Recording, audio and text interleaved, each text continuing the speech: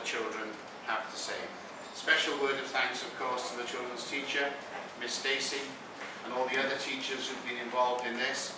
It's, um, it's a strenuous, stressful time for all concerned. But now, the stress is over, the work is done, and we can enjoy the fruits. Thank you very much, ladies and gentlemen. Thank you very much, boys and girls, for coming along to the PYP 8 exhibition.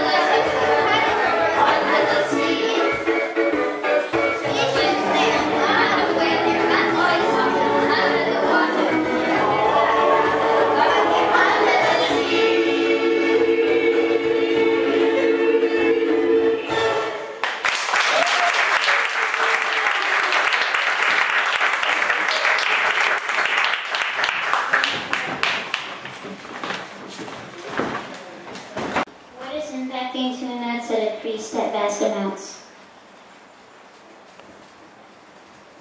Now my question relates.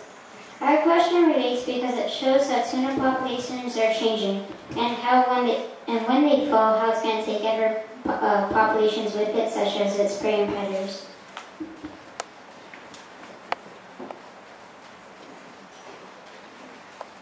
Uh, these are the four group questions we have. Um, number one is what are responsibilities for tuna populations? Number two is how are tuna populations changing? And number three is how do humans impact on the tuna population? And together we have a group question that is What are different perspectives on bluefin tuna population? Changing.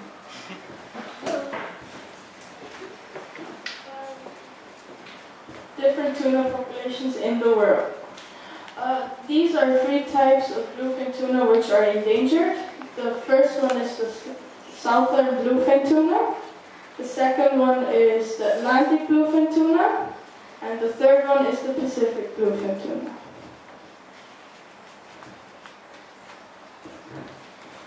Uh, this picture shows bluefin tuna being caught. And in Japan, this the one of the biggest bluefin tuna, well, one of the biggest fishing markets there. The biggest bluefin tuna ever sold there was 500,000 US dollars. Uh, what other things are causing tuna populations to change? Uh, pollution is one of the main causes um, of decreasing tuna populations. Others, other things like garbage, oil spills, and sewage are all facts according to National Geographic. My solution to it is that we all, all the countries in the world have to come together and uh, clean up the ocean, especially the fishermen could stop uh, fishing so the um, fish have time to repopulate.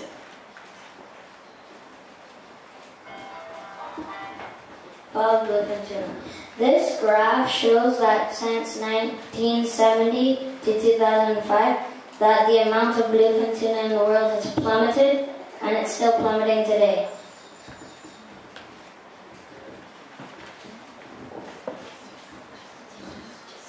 Different perspectives on overfishing. There are two different perspectives on overfishing. The first is the fishermen. The fishermen want to fish as much as they can until there's no fish left in the ocean.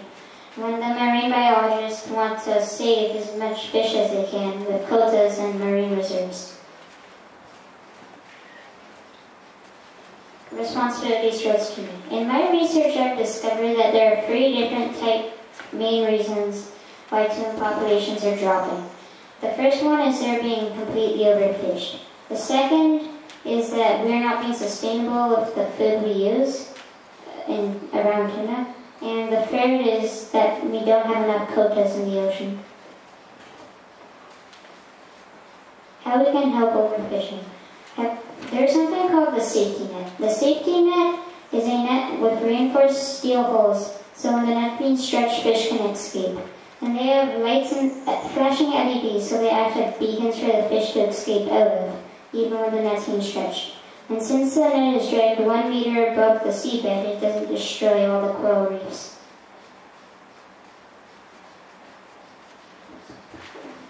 How can help being sustainable? We can help by buying from sustainable resources such as co-op tuna and Sainsbury tuna, also by, by more sustainable fish to cook with like salmon.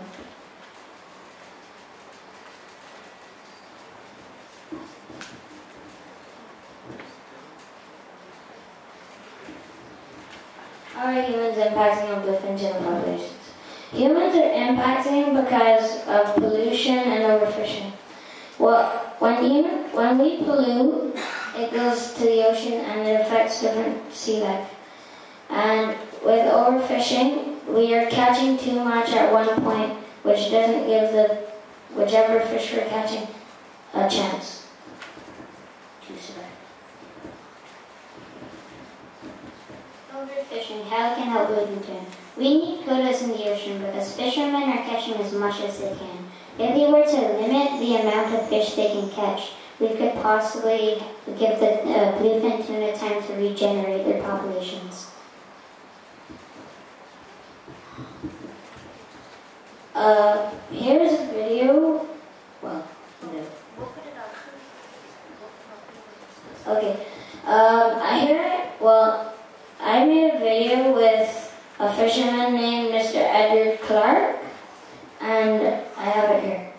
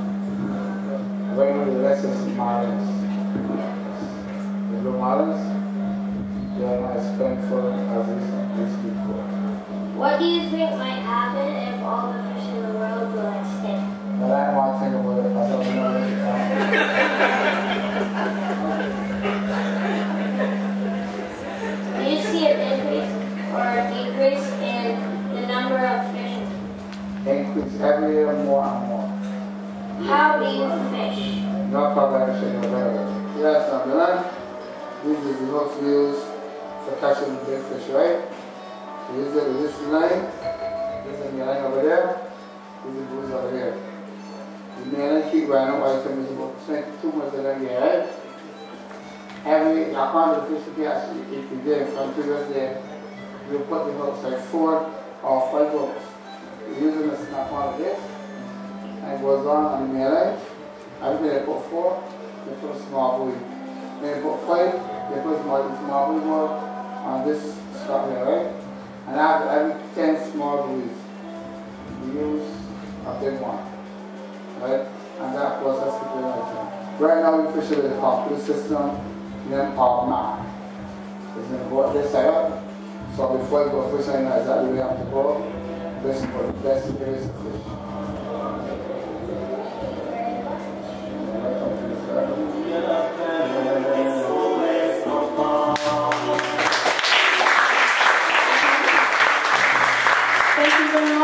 Much for watching. Thank you.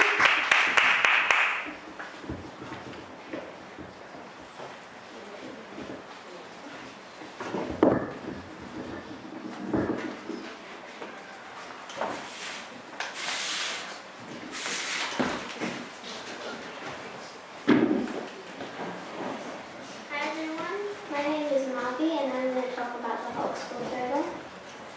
My main question is based on the hawksbill turtle is what are the human impacts that are affecting the population of the hawksbill turtle? Here as you can see are my three lines of inquiry and my central idea. My central idea is oceans harbor diverse habitats for which we are responsible. It relates to my topic because I talk a lot about responsibility in my PowerPoint. And what, what would happen if the turtle would go extinct? It would cause a big disturbance to the food chain. So I talk about diversity of habitats. And here I have my three questions. What is the form of the hawksbill turtle and its habitat? What happened to the hawksbill turtle that changed the population? How can people take responsibility for the hawksbill turtle? Where do hawksbill turtles live? Hawksbill turtles mostly live in tropical reefs and rocky areas. They also live in oceanic islands or narrow peaks that can be 65 feet or deeper.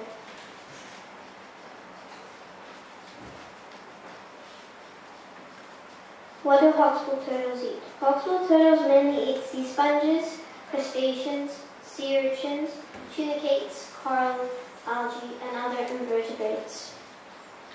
I found a very interesting fact that the hawksbill turtles in Indonesia eat the normal diet, while the hawksbill turtles in the Caribbean eat just sea sponges.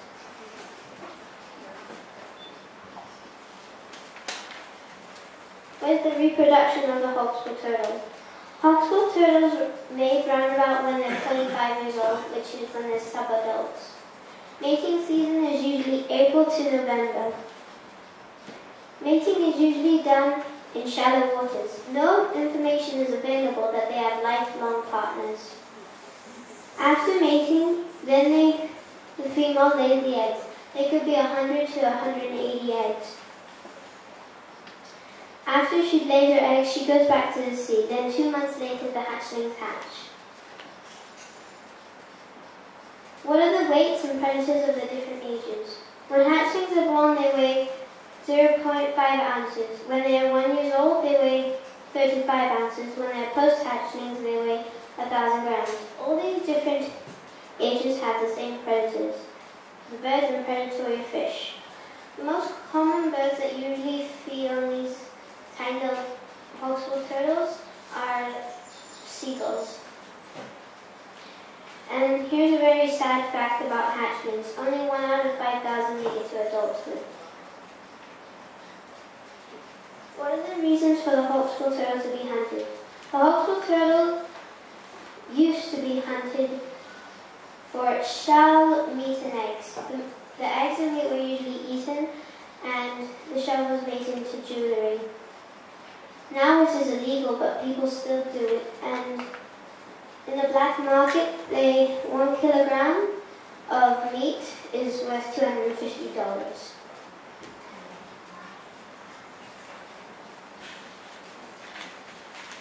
What are the populations of the hawksbill turtle over the years? Panama used to support the largest population, population of nesting females in the Caribbean, with 534 to 891 nesting females. Now Cuba had the largest population in the Caribbean, with 534 to 891 nesting females. There are four regional places around the globe that have more than a thousand hawksbill turtles. There's three places on in Australia and one in Indonesia. What are the human impacts that affect the turtle? As you can see here, I have two main points, but there are many others.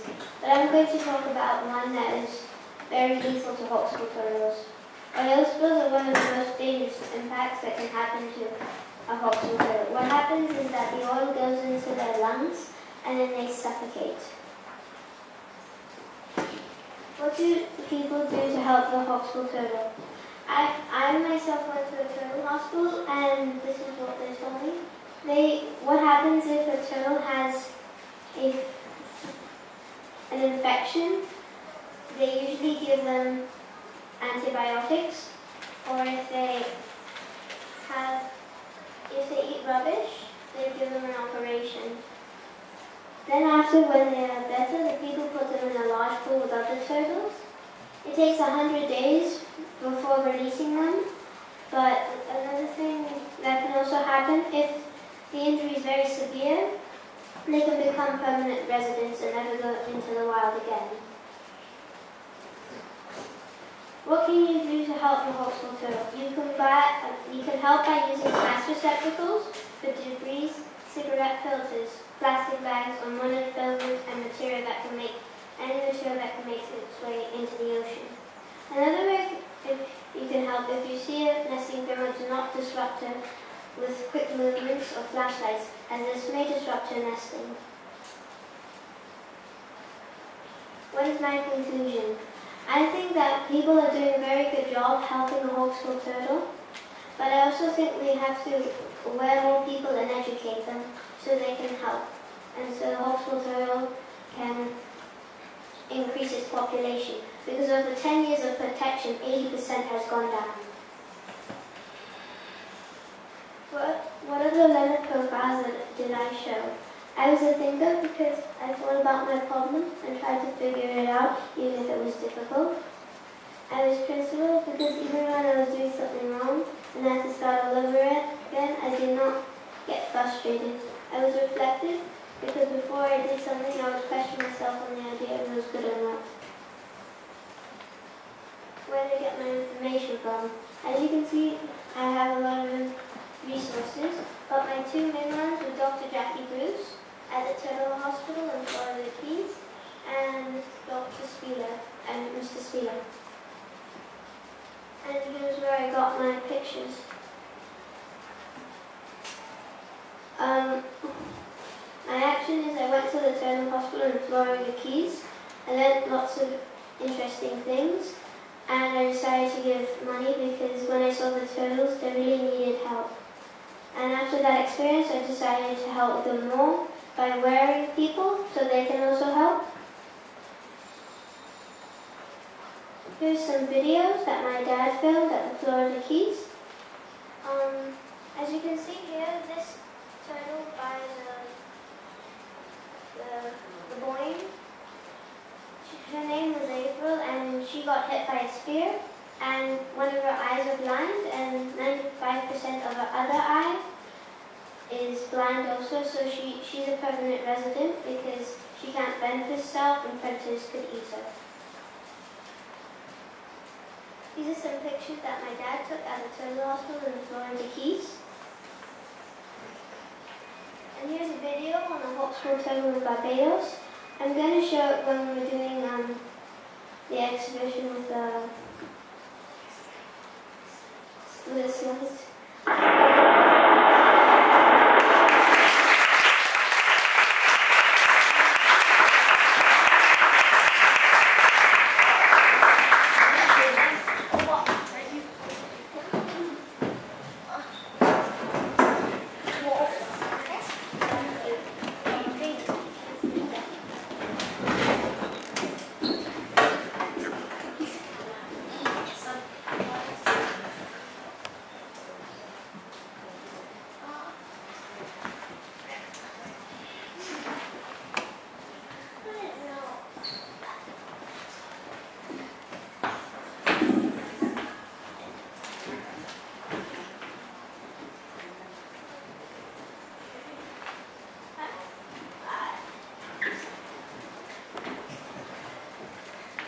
Good morning. Today I will present, be presenting how do oil spills affect the Gulf of Mexico and its habitats. The central idea for my exhibition is oceans harbor diverse habitats for which we are responsible. My research is related to this because different habitats around the Gulf of Mexico disappeared because of the oil spill. The topic that I'm presenting you is oil spills affect the Gulf of Mexico, which is surrounded by the Caribbean Sea. This, my student questions that I, that I researched were, what is causing the oil spill in the ocean? How are the habitats changing because of the oil spills? And what is the government's responsibility for cleaning up the oil spills in the ocean? What is causing the oil spills in the ocean? Oil spills are caused by people making careless mistakes. Like when they dump things into the ocean like gas, fuel, and other oils. When divers dive to the bottom of the ocean and start looking for oil by drilling a well, the, the well is exploded with oil. Sometimes ships leak. When it hits a piece of shallow coral, the oil 17 and 39 million gallons of oil. It took 87 days or more to get under control. This was the biggest oil spill in American history. How do habitats change because of oil spills? In the Gulf of Mexico, the marine life has decreased. 82,000 birds of 102 species died because they ate oil from their bodies to clean themselves, and also from lack of food because the fish were dying off. Another reason is that they died by eating fish that were poisoned by the oil. It was not only birds and fish that were poisoned, but other animals that live in the ocean like sea otters and killer whales. All of the sea, sea life of the coral habitats will also die because they depend on each other. What is the government's responsibility for cleaning up the oil spill in the ocean? The BP company was responsible for the Gulf oil spill. When the oil was cleaned up, the BP company had to pay a lot of money to clean up the oil from the ocean, but a lot of companies were also involved to clean up the oil spill, as well as the government of the Gulf of Mexico. It was everyone's responsibility who lives in the Gulf to clean up the oil spill because they cannot use the water for activities and they depend on it for food and jobs.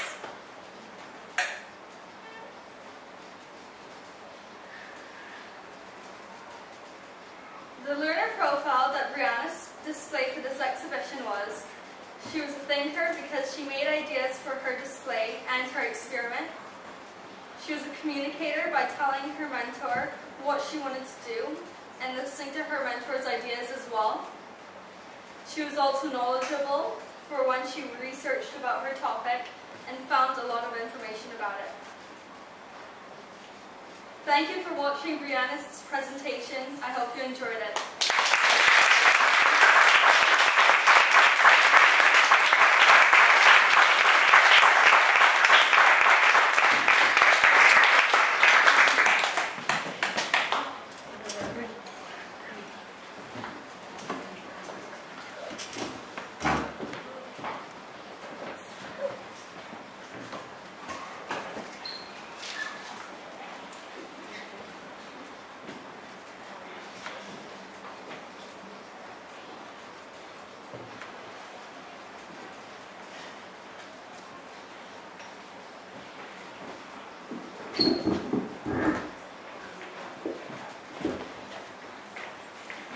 Hi and welcome to my presentation.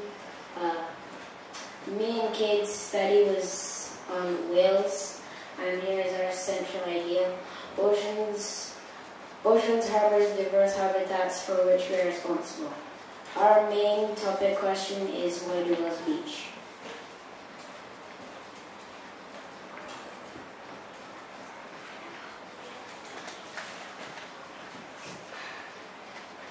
Uh, I will now take you through some theories that have been that have not been confirmed that have not been confirmed to be true, but have not confirmed to be true.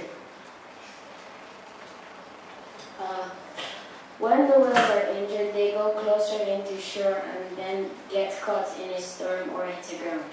When a whale is on a beach, it only has very little to live. They quickly die of dehydration.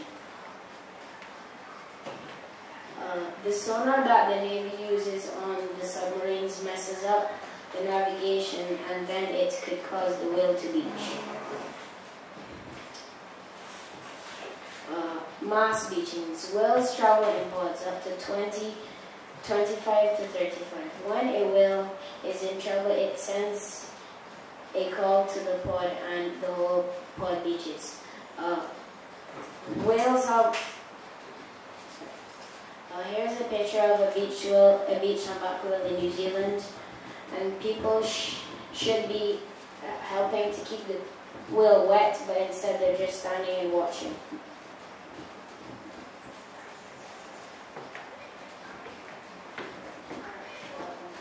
How is the behavior of whales formed? There are three forms of behaviors feeding, breeding, and migrating. And one is feeding. The bubble trail is used to make a virtual screen um, to trap fish. Instead of getting dehydrated, the, the whales make the bubble trail and instead of getting one fish, they get a million fish.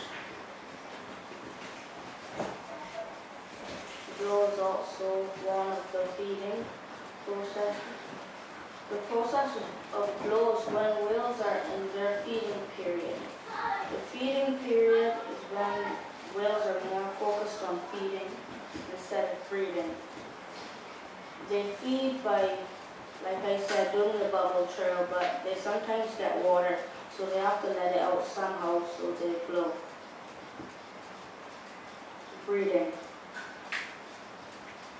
Head, head slap is used for breathing. Head slap is produced by males to trap females. The jaw clap. Jaw clap is when the whale opens and closes his mouth. And its jaws clap. And then um, the, jaw, the jaws clap in order to, yes, to trap females' attention. Tail extension. The whale slowly ri- raises its tail onto the air, sometimes high enough that generally that declare the, the surface. The pectoral slap. The whale rolls its pectoral fins, slapping them against the water. Migration. Spy hopping. Spy hopping is used by both male and female whales to look around them to see if they can see boats or icebergs anywhere around them. Breaching. Whale breaching is when the whale leaps out of the water, generally clearing the surface with two-thirds of its body or more, often with a twisting motion. Fluke dive. Fluke dive is signals a deep dive following the pectoral arch. The humpback will usually bring its fluke high above the surface of the water onto its way down, onto its way to the bottom. Uh, this is the learner profile that I feel I have most demonstrated. Gavin, I feel I have most demonstrated communicator a lot to me and my partner. We not argue a lot in the exhibition. Okay, Karen, I understand the need to take action to take care of our, of our oceans. We'll, we'll show the video when we're doing the museum walkthrough. If you want to see it, you can come. Uh, here's our references where we got our pictures and information from. Uh, thanks for watching our presentation.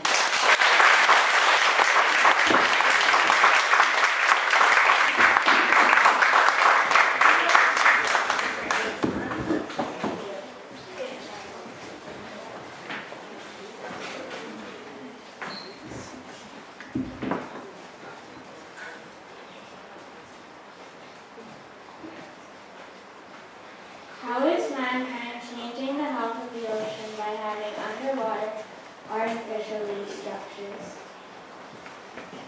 Welcome to Blue IBA Exhibition 2012. As you know, this exhibition is about oceans. Each group had to choose a topic. Our group chose artificial reefs.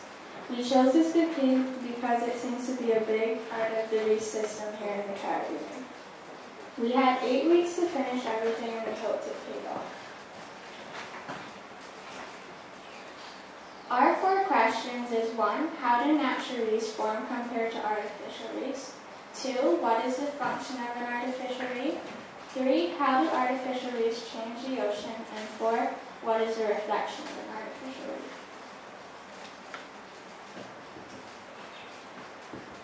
What is an artificial reef? An artificial reef is any rock or man-made underwater structure that will provide a new home or habitat for marine life. That is what an artificial reef is.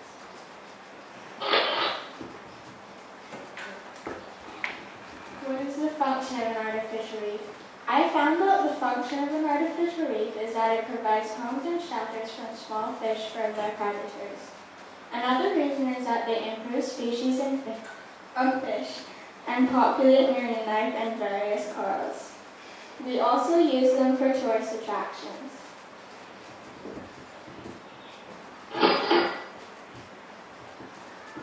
How do natural reefs form compared to artificial reefs? Natural is formed by floating algae in the water that attaches itself to a rock or any hard structure sustainable for life. Then corals begin to grow and small fish come to eat the corals and then the bigger fish come to eat the smaller fish. Art- oh, and then the food chain begins. Artificial reefs form basically the same way, it's just a lot faster because they're pre-made and it can take only about a month, where naturally can form up to 500 years. My question is, how do artificial reefs change the ocean? The answer that I got was artificial reefs are mainly good for the ocean, but do have some bad effects, like when you place it into the ocean, it can damage or harm um, natural reefs, but the good effects are that they can provide homes, protection, and food for the marine life. Um, the reflection for the research shows that artificial reefs are working for what people want them to, and they are helping the ocean in various ways. Artificial reefs help repopulate marine and other organisms. The process. We had to think about what our topic would be and what we would do, and we decided to do artificial reefs. You can kind of talk. Um, then we had to come up with our big question, and after we wrote our lines of inquiry, we had to assign each group member to a question. After we did that, we, we started our research and came up with all of our answers. And then after all that, we are now here doing our presentation. Um, pictures. Um, we actually took these pictures when we went to Bay. We went snorkeling with my mom and we found a telephone, one of those old telephones from one of the shipwrecks.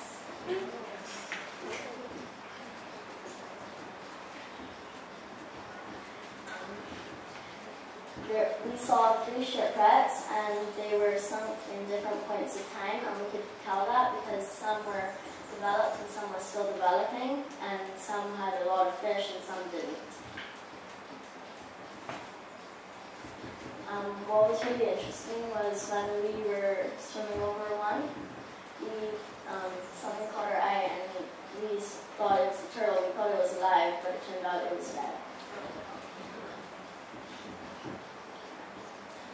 Um, yeah.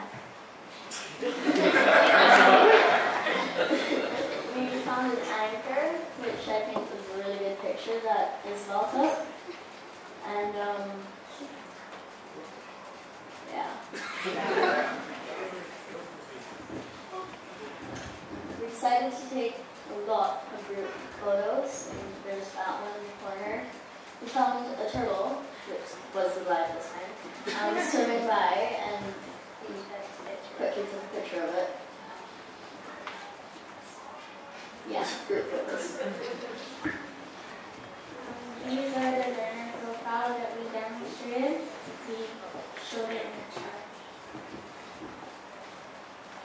Thank you for listening.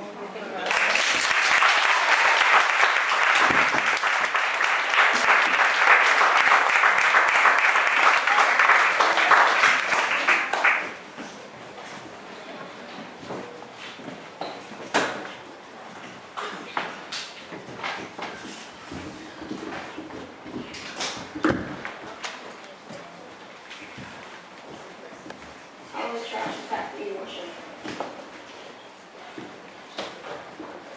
The exhibition structure idea that we based our question on is oceans harbor diverse habitats for which we are responsible for. Our group question is how is trash affecting the ocean? The lines of inquiry we chose are, how is trash changing the ocean? How is it our responsibility towards the trash in the ocean? What causes trash in the Pacific? And what is the function of coral reefs? The Great Pacific Garbage Patch. The Great Pacific Garbage Patch is a huge mass of garbage located in the Pacific Ocean. It is the world's largest dump and it badly affects the marine life. It is twice the size of Texas and 90 feet in depth. 80% of the garbage is from land and 20% of the garbage is from boats. It holds glass, rubber, metal, and many other materials. A lot of this garbage is non-recyclable. What causes trash in the Pacific? Rotating currents in the Pacific make it stay as a garbage patch by spiraling in a clockwise direction.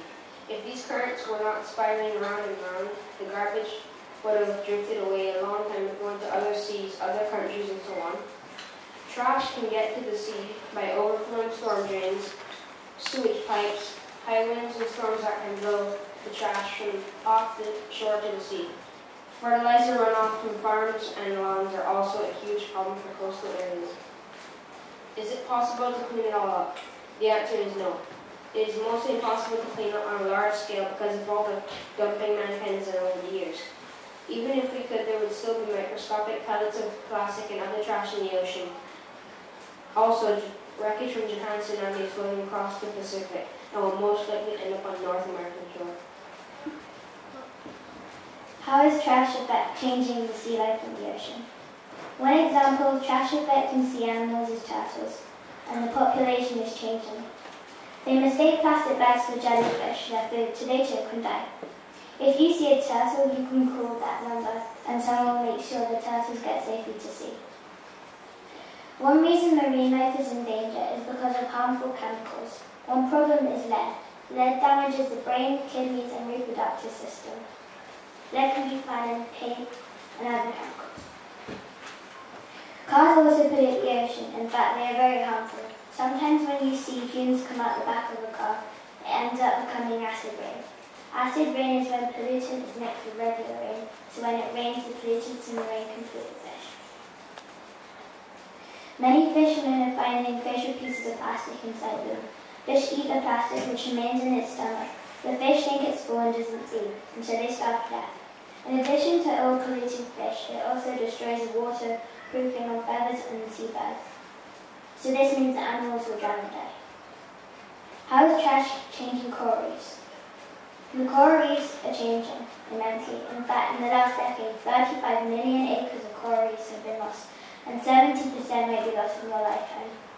Fertilizers run off into the ocean and make the water look cloudy. As a result, the coral can't get enough light and finds itself smothered. We are given the coral deadly diseases from our human waste. The disease is called whitepox and gives the coral white-looking blobs. The coral will have the disease for a few years and then die. There is no cure at the moment, but scientists are constantly trying to find one. How is it our responsibility towards trash in the ocean? When people drop glass bottles in the sea, it may end up, it may end up on the coral. Coral needs sunlight to survive, and if something's blocking it, the coral will die. Humans are responsible for the trash in the garbage patch. It would be impossible to clean up each piece of garbage. We also have responsibilities to share our world with marine life. The boardwalk in Barbados was made to protect the South Coast beaches. Barbados needs to get responsible and create a new law for dumping in the sea, because there isn't one yet. Lani Edgehill grew up in Barbados, and when she was a child, she did beach cleanups. She now works at the Future Centre Trust. People should do what Lani does, because then our oceans wouldn't be so polluted. Here in Barbados, everyone is responsible for cleaning the beaches. What is the function of coral reefs? Many fish rely on reefs for their food and shelter. If there are no reefs, the small fish would die because their food, they would have neither of these. Ultimately, the big fish would die because their food, the small fish, would be gone. Barbados' main income on tourism. This is because of our beautiful reefs and beaches. If there were no reefs, Barbados would have less money coming in.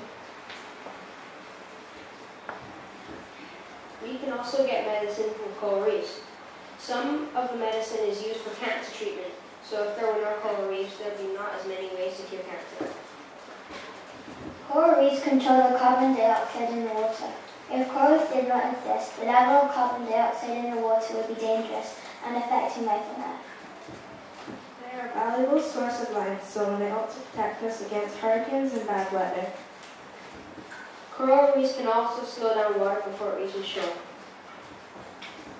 Pictures of trash affecting coral reefs. Picture one is a deadly disease named white pox. And here in the corner, you can see a plastic bag is blocking the sunlight from getting to coral. So it won't work. This bottle is blocking the sunlight from its coral. Pictures of trash affecting sea life. Here in these pictures, you can see a lot of the animals have nets around them. One of the reasons for this is because sometimes fishermen lose their nets at sea. Animals also eat lots of plastic, which can choke them and they'll die. Not only is it sea life in the water, but birds can ingest the garbage too. Our action plan. Um, On the 30th of March, we went to 10 days to do a beach cleanup. Here's a video of what we did.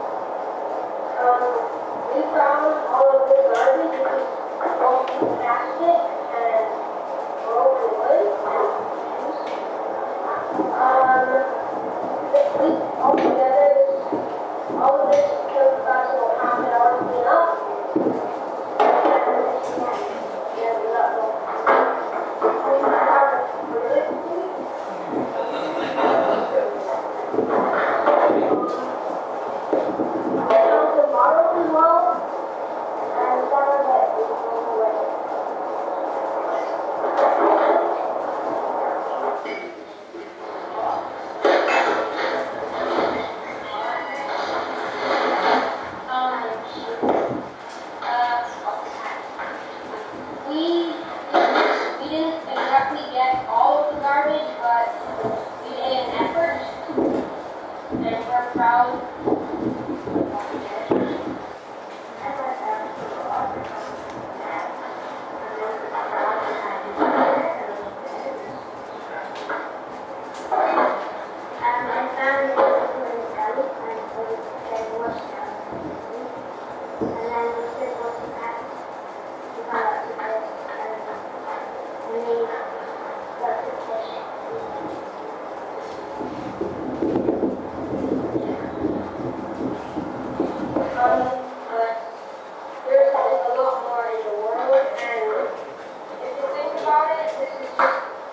Fish.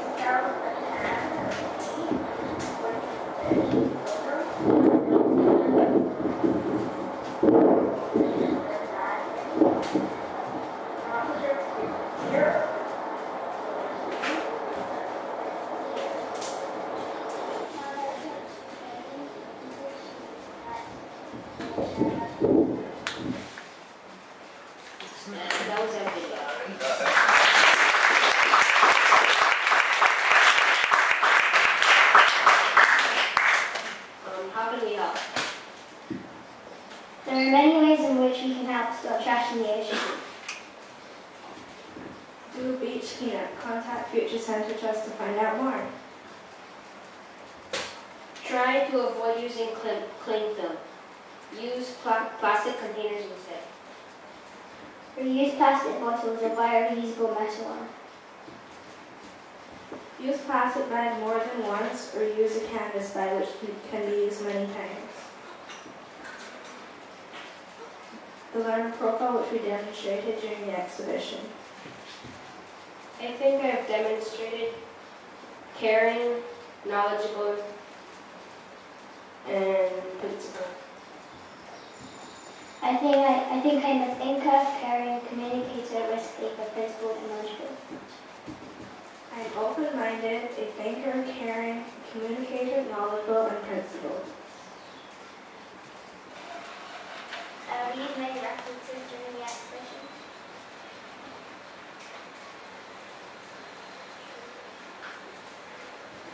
Thank you for watching.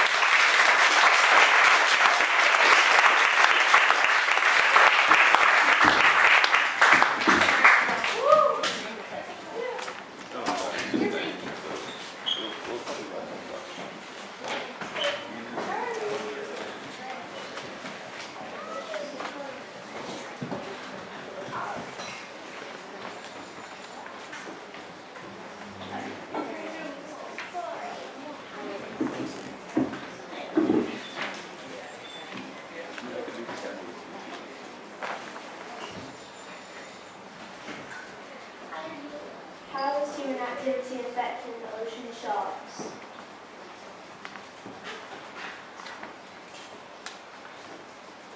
Today I will be talking to you about sharks. Iron was an ocean, as you know, and I just do on sharks.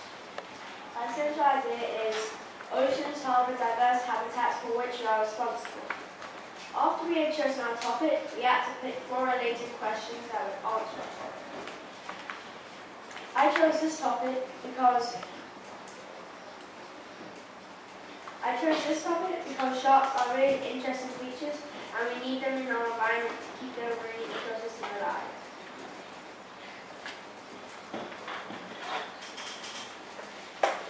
First question.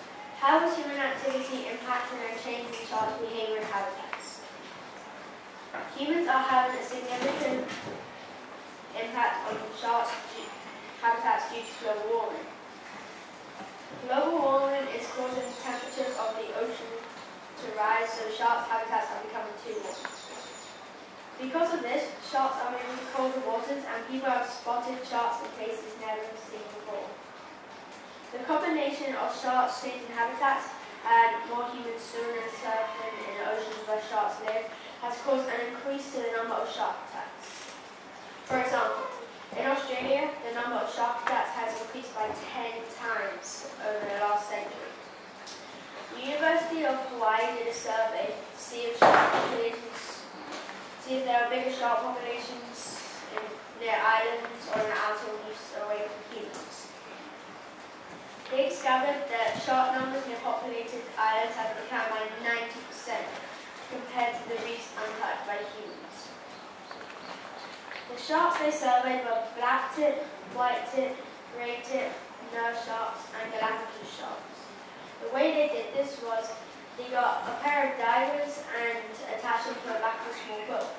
Then they would tow them around the small island and they would have to estimate how many sharks they saw. Then they would go out to sea and do the same thing. What is causing the changes to sharks' behavior and habitats?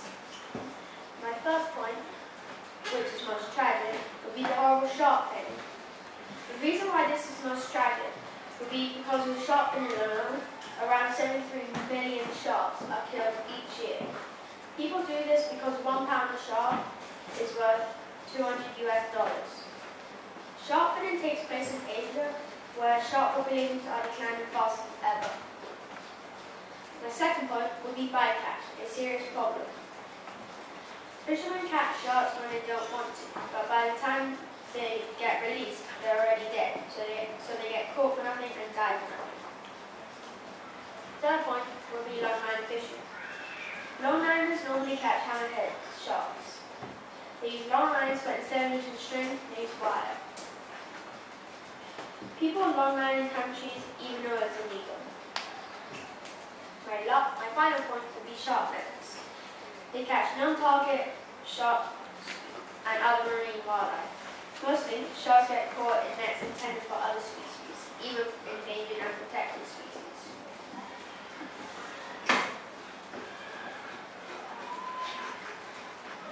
Question number two. What is the best form of help that we can give sharks in order to survive? I asked this question to Ryan Johnson, a marine biologist who specializes in saving sharks. Ryan is based in South Africa and involved in lots of TV shows from National Geographic, including the program Shark Net. Ryan said, we have to get children passionate about sharks, the same way that children were passionate about saving whales. This will influence the parents and then influence the legislators.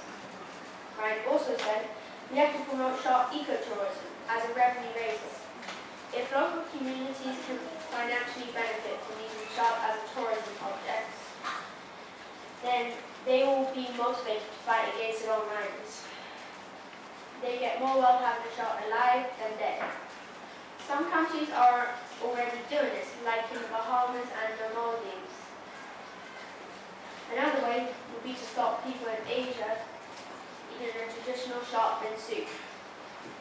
People in Asia need to be educated and informed about the incredible damage that their eating habit is causing. It is also important to recognize that it is impossible for an Asian person, for a Western person to educate an Asian person due to cultural reasons. We need an influential Asian person to take this message to Asia, Asia, and there may be results. Another point would be to make government agree to ban shark fin soup. If we can prove to the government that a shark is worth more alive than dead, then catching sharks will become a myth. We also need scientists to get more accurate information about whether shark populations are increasing, stable, or declining, and also how to conserve sharks sustainably.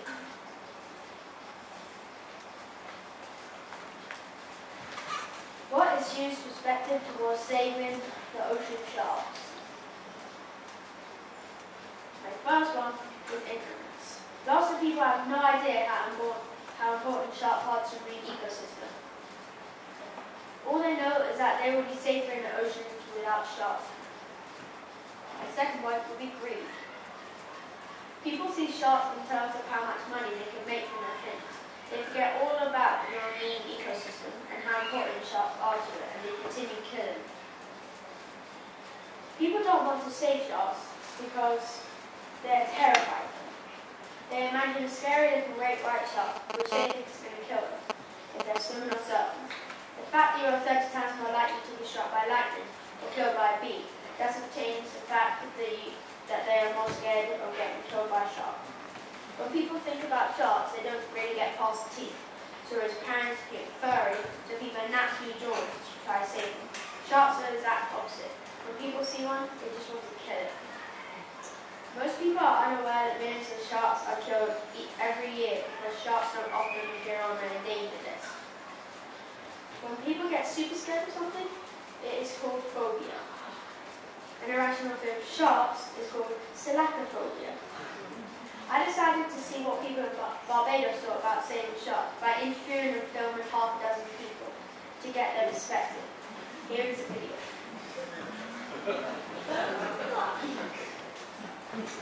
Definitely say word shark. I mean, people misunderstand it.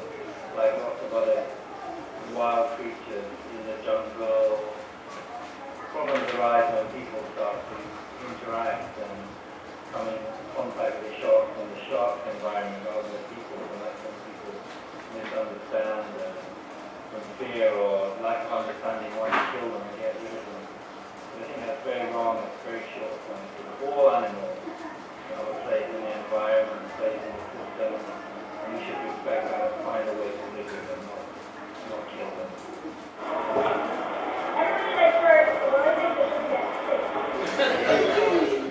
shark should be saved due to the that the shark, the, the, the creature balances itself, the, the marine life of the ocean. Without the sharks, then everything will be. The marine life will more. And will be in the I can stay there as long as kill me. I don't have one. I don't think I will ever stay I be really something I would like to do. I would like to he won't eat.